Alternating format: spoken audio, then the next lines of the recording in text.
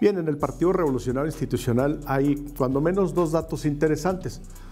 La presencia del delegado especial, del exgobernador Morales, y que este día, justamente hoy sábado, se celebra en la Ciudad de México la reunión del Consejo Político Nacional, donde el tema central es la autorización al Comité Ejecutivo Nacional para la expedición de las convocatorias en aquellos estados donde hay elecciones para gobernador, y sin lugar a dudas, eh, lo siguiente dato relevante es que el día 29 de este mes se publica la convocatoria en el PRI Durango para su proceso de elección del candidato a gobernador. Entonces, son tres datos relevantes en esta semana. Empezamos por el C delegado. Mm, interesante, ¿no?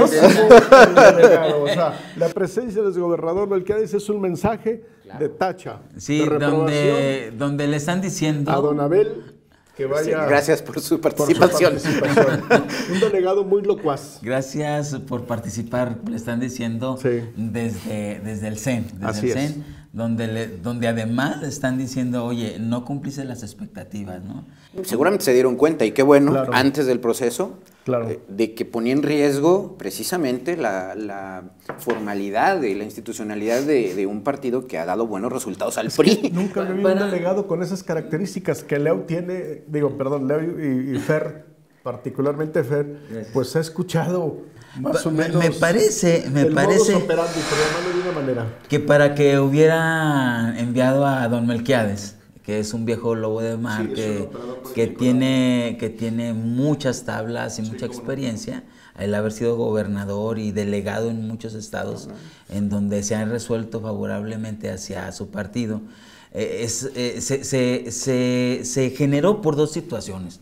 Uno, el activismo, eh, me parece que algo errático de Don Abel eh, como cariñosamente le dicen los duranguenses, a Don Abel desordenado, pero además fuera de toda lógica, en donde se la pasó descalificando a, mucha gente, ¿no? A, propios extraños, a, candidatos, a no candidatos, a candidatos y a sus equipos. Y me parece que ese no es el trabajo de un delegado. El trabajo de un delegado es al, contrario. Aglutinar, aglutinar fortalecer. sentarme con alguien, sentarme con este otro, escuchar, ver de qué se trata, saber cómo funcionan las tripas de una entidad tan importante como la de su partido. Además eso, eso es lo interesante. Porque y por el otro lado, me parece que también viene a resolver algo fundamental de los pristas.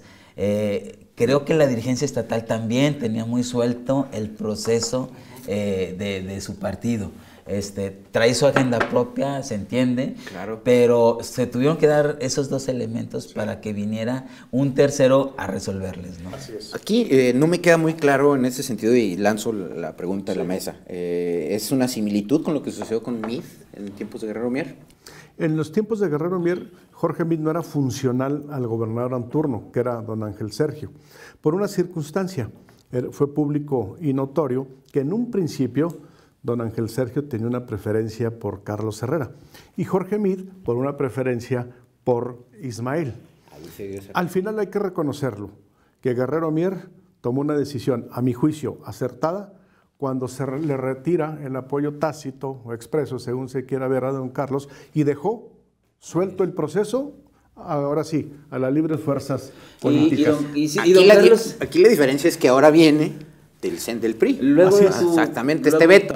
Luego de tu provocadora pregunta, me parece que vale la pena decir que es un escenario también parecido, porque don Carlos vuelve a ser candidato a través de Interposita claro, por supuesto. Eh, y el escenario está. La, misma senadora lo ha dicho, lo ha dicho. En su discurso, ella menciona siempre, antepone el nombre de su papá. Sí. Me parece que ese es un mensaje equivocado de eh, su totalmente. Creo que sus estrategas de comunicación deben de pensarle mejor. Yo creo que los estrategas de, Leti totalmente erráticos durante todo este proceso. ya hemos hablado en anteriores programas de cómo han aprovechado. No sé si les haga caso, ¿eh?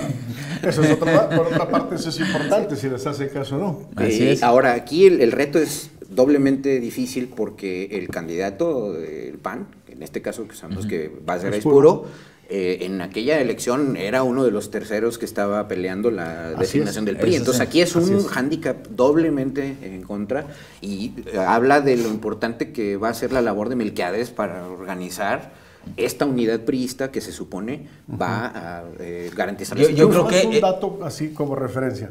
Viene un exgobernador delegado, acaba de terminar un exgobernador de Durango delegado en Puebla, que es el caso de, de Ismael, y son datos Nada más para Interesante, ¿no? Así es. Porque entonces ahí, en aquel entonces, eh, el, actor era el contador Ismael, el actual senador.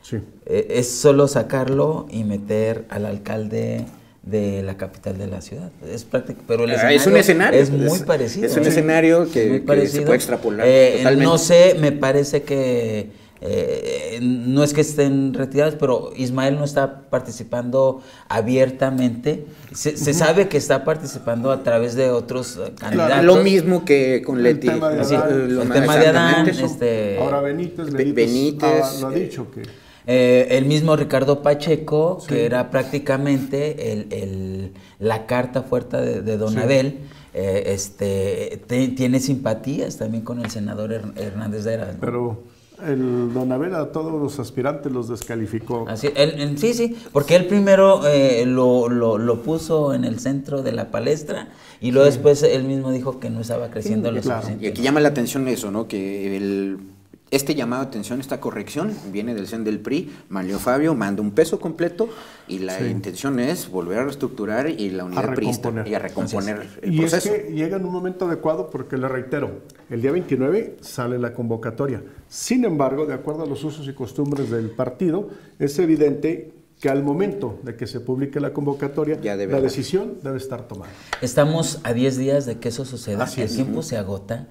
Y me parece que en este juego ya están metidas muchas piezas. Así es. Y, y, luego nos estamos olvidando, no, no, no, no nos estamos olvidando, pero debemos de recuperar que hay otros escenarios que subyacen, como las designaciones de ese partido a presidentes municipales, que, son moneda de cambio. es otro, es otro, otro round de sombra que están Y va a ser materia de otra mesa posteriormente. Sin embargo, lamento comentarles que nos están indicando que nuestro tiempo se ha agotado. Quiero agradecerle a Fernando y a Leo, por supuesto, y a ustedes por habernos acompañado. Nos saludamos Dios mediante la próxima edición.